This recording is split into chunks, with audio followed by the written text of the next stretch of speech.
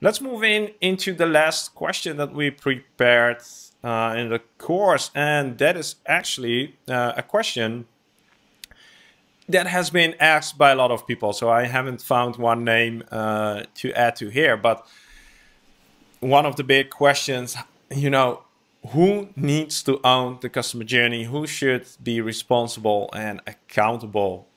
Oh gosh, where to start with this one, Daniel? There's not one answer to this. There's not one way to do it in all kinds of organizations. Come on, and, there must be one answer. it must be simple. No, it's not that simple. Um, I'm making you disappointed, uh, Mark. It's uh, most of those things is not that simple to just find. It's very different, and organizations are very different.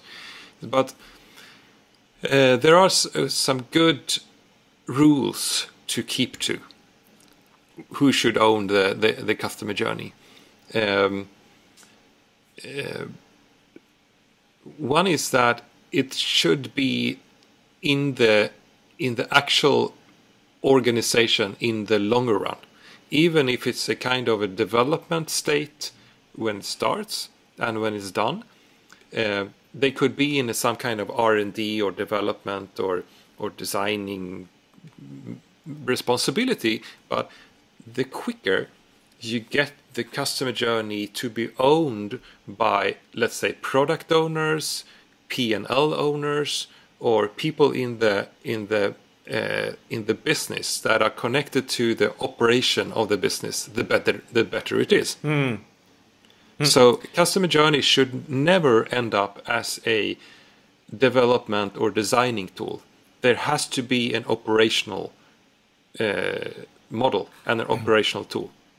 And I think that's that's if if you want one answer to this, push the journey to an operational tool instead of having them as a R&D de uh, development department uh, ownership there. And then it mm. depends on the organization. If you if you're kind of old school organization, you will have P&L. If it's a more a new school, uh, more a bit more model, you would modern, you would definitely have like product product owners or business owners or something. And, yeah, and that's what we've been preaching, I think, all along. Like customer journey maps are a way, are means to an end. Like they are a tool to get to become a more customer centric organization, right? They're, yeah, yeah. You have to use them to as to navigate and uh, yeah as a compass, and you need to act actively use them. So I, I really like the the uh, how you pinpoint that it should be in the operational part yeah. rather yes. than maybe in the innovation or research. Mm. Um, mm. It should be owned by a, by an operation.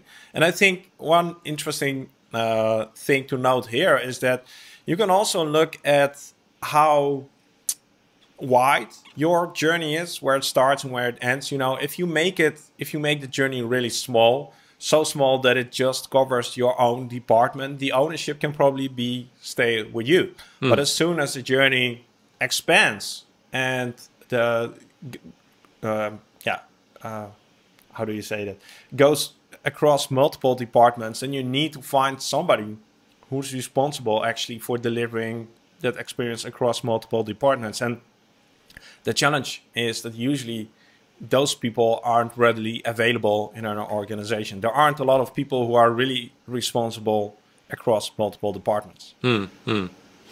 Yeah, which means that you have to go up pretty soon. You will be on a C level. Yeah, uh, and then those C level people they are organizing things, uh, so they have to pinpoint some, who who's responsible for that. Who will who will they delegate that to? Um, but the ownership um, for a more uh, broad journey will be on a C level.